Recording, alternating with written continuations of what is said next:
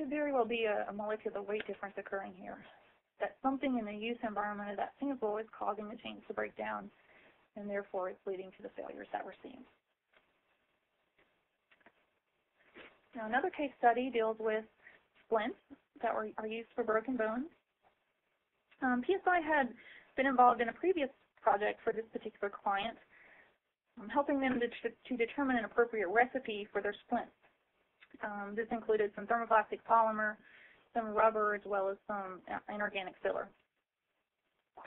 So they took that recipe and started to manufacture the splints, but they were seeing some variations in how they behave. The setting time was different, the stiffness was different in some cases, um, and they needed to figure out why that was happening because the end users weren't happy with those variations. Now they suspected that their compounder was varying that recipe and they wanted to have some ammunition um, to go to the compounder with and get this um, situation taken care of. So again, we applied our favorite technique of DSC. On the left is the good sample, on the right is the bad. And we see again, the area that melting peak is is quite different between the two samples. The good sample is showing more crystallinity than the bad. Um, in the way these splints were used, they were heated uh, and informed. So the crystallinity could be affecting um, how the stiffness of the sample at the particular temperatures they were heating at. We might expect that with this lower crystallinity in the bad sample, it may be a little bit um, too um, flimsy for their application, and that was indeed what they were seeing in some cases. Um, because this was mineral filled, we ran TGA as well. A good sample on the right showed about 20% filler, while that on the left had about only about 13%. So pretty pretty dramatic difference there. So um, between showing that there were different there was different crystallinity and that the filler levels were different, we then had um, the conclusion that there were indeed different recipes being used, and our customer was then able to go back to his compounder and uh, get some solution to this problem so that they could um, make better splints in the future. So to summarize, um, we've talked about how polymers can exhibit various temperature-dependent phenomena. Um, hopefully I've given you a flavor of, of, how thermal analysis works and how you may be able to use it in your situations. Um, it can help us to probe the different transitions that are present in polymers. Um, but as we've been saying all along here, all these results are typically heating rate dependent, so that's something to be aware of. Uh, again, when you're comparing data from various sources or um, even if you're, you're looking at your particular applications, um, choosing the heating rate might be key to that. So I would like to give a special thanks to the thermal group here at Polymer Solutions. Uh, Suzanne's our lead in that group, and Mariah and Sam are the technicians.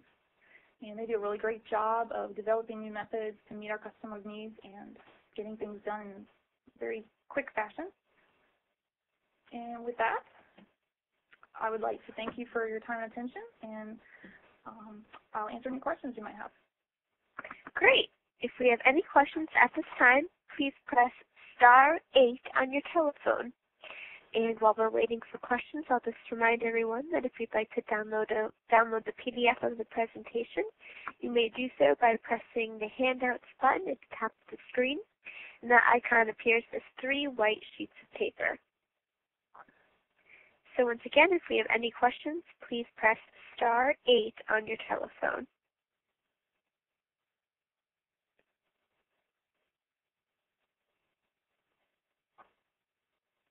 Okay, I'll move our first question into conference.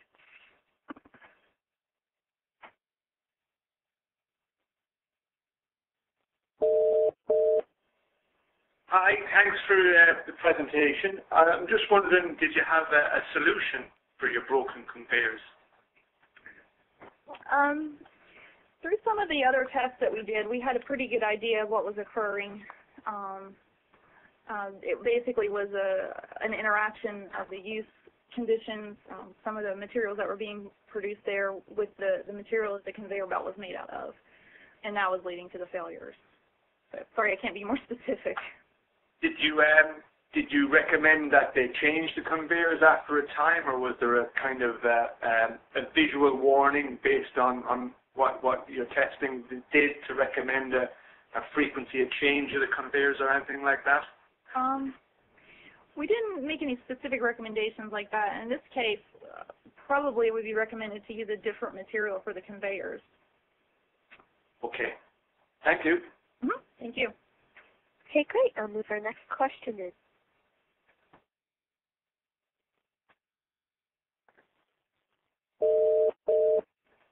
Yes, hello. Um, I have an application where I need to measure thermal and electrical conductivity of some polymers. I was wondering what techniques you'd recommend. Well, it depends a bit on what temperature um, is of interest in that case and the form of your sample and so forth. Uh, as I mentioned, we can do some thermal conductivity using modulated DSC, but it is somewhat limited in the form of the sample and the temperatures that we can test. I think there are some other um, methods, a guarded hot plate apparatus perhaps, that can do a lot wider temperature range. Um, the electrical conductivity um, is a totally different area. Um, there are dielectric thermal analyzers out there um, that can do that kind of testing as well. But at the moment, I'm not even sure who makes those at this point in time. I know one company used to, and I don't believe they do any longer. Okay. Um, what temperature ranges uh, this, uh, where the M, uh, MDSC can, can work? We typically run against a polystyrene standard, and the test involves having your sample sit directly on the stage in the instrument. So you have to stay under the glass transition of the polystyrene. So the, the maximum temperature is usually 80 to 90. And it also has to be that your sample is a solid at that temperature as well. Okay, that would work fine. Thank you very much. Welcome, thank you. Okay, great. Do we have any other questions? If so, please press star 8 on your telephone. Okay, I'll move our next question in.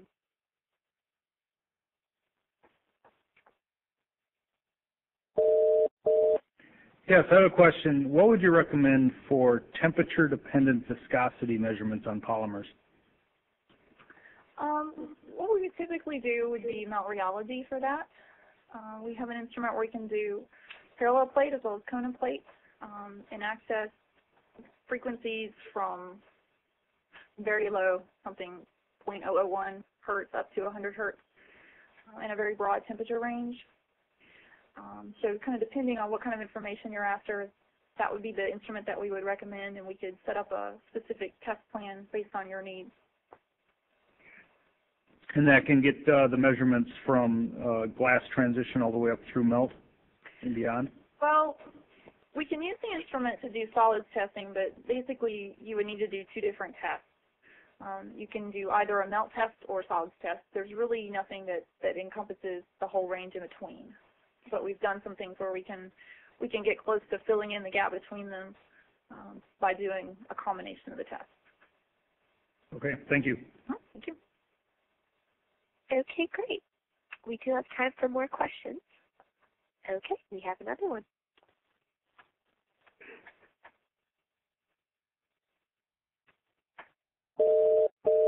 Hello, this is Natalie Merrill with Honeywell, and I'm also interested in the thermal conductivity of polymer samples. If I did have one, which was solid at 80 to 90 degrees centigrade, Mhm. what kind of um, units or what kind of results can we get out for the thermal conductivity versus polystyrene control? Um, so basically, you get um, the thermal conductivity of your sample. We just use the, the polystyrene to calibrate based on. Um, so watts per gram Kelvin, I think, is the unit. Mm-hmm. Um, so we're actually measuring that directly. We have uh, a thin sample, which is less than 0.4 millimeters, and we measure that against a thicker sample, which is 3 to 4 millimeters thick. And the instrument um, basically is measuring the lag in the large sample versus the thin sample, and that can allow us to determine thermal conductivity. Thank you. If it's possible, I'd like to know um, who else asked the question in case there's a, a subset of us who are pursuing that area and, and learning about the analysis. Um, I don't have any way to determine who asked the question. I'm sorry. Yeah, well, they can contact me. Okay. Natalie Merrill at Honeywell. Maybe I don't know how I can find out who they are either. But thank you. Okay. I'll our next question is.